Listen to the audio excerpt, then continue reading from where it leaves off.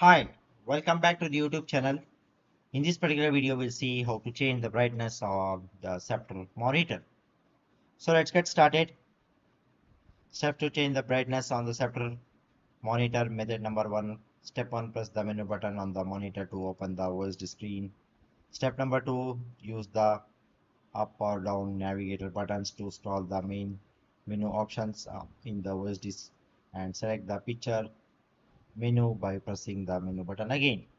Step number three, use the up or down navigation buttons to adjust the brightness value according to your preferences.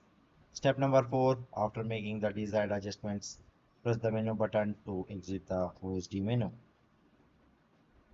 Okay, so steps to change the brightness on the Sceptre monitor. Method number two, press the menu button on the monitor. Navigate to the quick restart, quick start. Step number three, go to the preset and change it to the user. Step number four, ensure the DCR is off to edit the brightness. Okay, so that's all about this particular video, guys. I hope you like this particular video. Please just subscribe to YouTube channel. See you and all. Thank you. Bye bye.